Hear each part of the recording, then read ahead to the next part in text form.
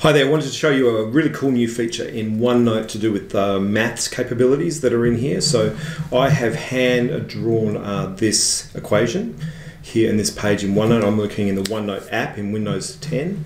If I just grab my lasso tool over here and lasso that, and then I'm just going to go up to maths here in the top in the draw menu into maths and you can see that it recognizes uh, the equation that I've written now. If there is things wrong with it, you can go fix it and you can go back here and just identify which parts is wrong so it gets it right. It's pretty good at recognizing. You can see my O's, my zero here is pretty bad, but it recognizes that. So you can go into maths. So now we've got an equation that is now inked into maths and now we can do the actions, uh, solve for x. So we're going to get some solutions and we're going to get some uh, ways that we can solve that equation. So interest, interestingly, factorizing is not one of the options here, but uh, completing the square is one of the ways you can do it and we can then go to immersive reader which will read out the solution steps. So not only is OneNote solving this equation, it's also giving us the how you would solve it and then it's also going to use immersive reader to tell us and read, it, read that solution out, which is pretty cool. Steps for completing the square.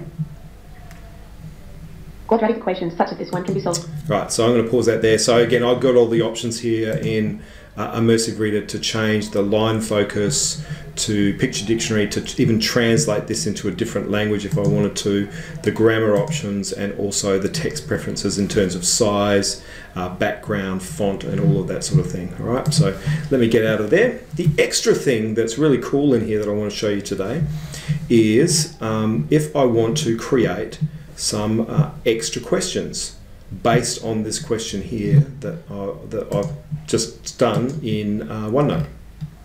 So down the bottom of this page here, I've got generate a practice quiz. Right, so I'm going to hit generate a practice quiz and it's going to firstly ask me how many questions do you want to create. So it's going to give me some similar questions to the one that I just did. So you can go for three or four, however many, and then just hit generate quiz. So this uh, is using forms in the background. It's automatically created that and it puts that quiz directly on that page in OneNote. But also, if you go to forms, you will see that quiz is sitting there. All right, so if I close this window on the side here, you can see it's now generating the three questions that I want based on that original question. So if you start with something that looks like a linear equation, it will it will give you uh, linear equations of the approximate uh, standard that you've that you've got here. So if I uh, go off to Microsoft Forms now, it'll go in, into my browser and open Forms, and I would be able to see the answers to any of these questions here. Now by default, it's uh, got so that people have to put their email in, so you know who it is. Um, uh, who has submitted the form. So if you then push this page straight out to students, for example, they would then be able to see those um, uh, see those questions, and you would be able to see their answers to that. So that's the extra thing there in OneNote. That's pretty cool. Generating a practice quiz based on a question that you have got on that page.